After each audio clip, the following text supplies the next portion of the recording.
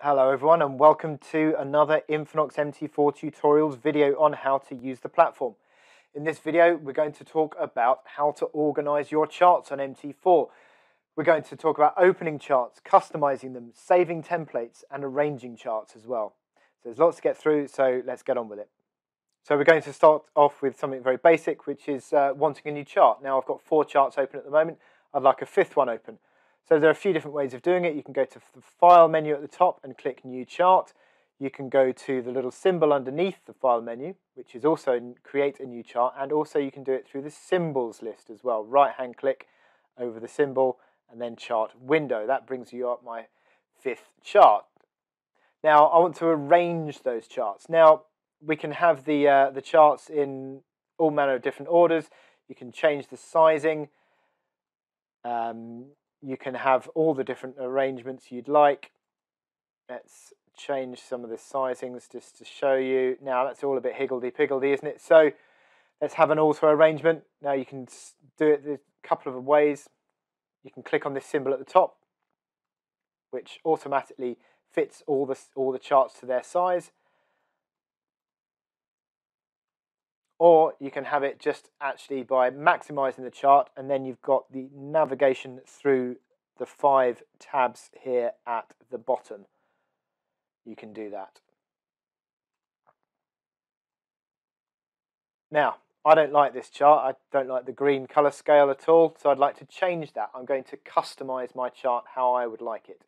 So I'm going to do a right hand click on the chart, scroll down to properties, click on properties, go to colors and change, we're on a bar chart, so I want to change the bar up and bar down colors. I like a nice yellow color for my charts. Yellow on black, I like that color scheme. So we click on OK. And we've now got our nice color scheme there. Now, the chart also, I think, needs to be zoomed in, so you can zoom in and out using the plus and minus magnifying glasses nicely zoomed in there.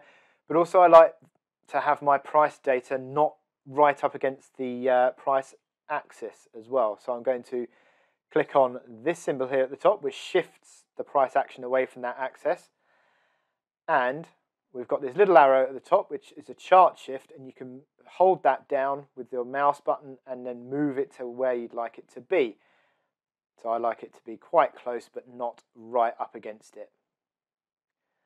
Now the other thing is you can scroll through this price data, but you notice that it keeps flicking back to the end date.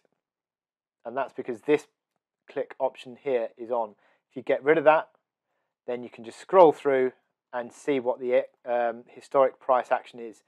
If you want to get back to the price end date, click on that once and you go straight back to the price end date.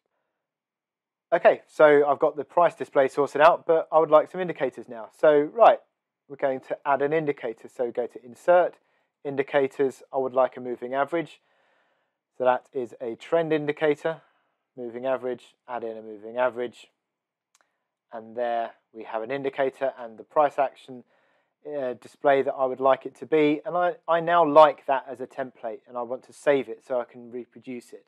So we go to right hand click, Go to template, save template, give it a name, and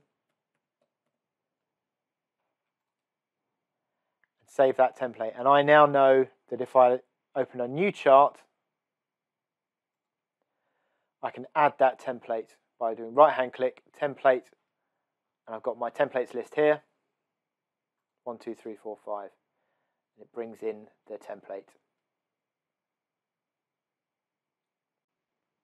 Okay, so we've got all these charts here, so let's just sort them out here with the auto profile.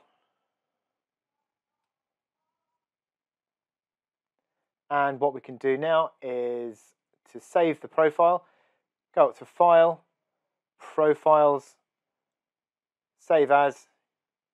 I'm going to save that as my profile. Okay. And where you have the Profiles section, that's now comes up here as my profile and you can flick between different profiles that you've saved previously and the current one I'm on is this one that I've just saved.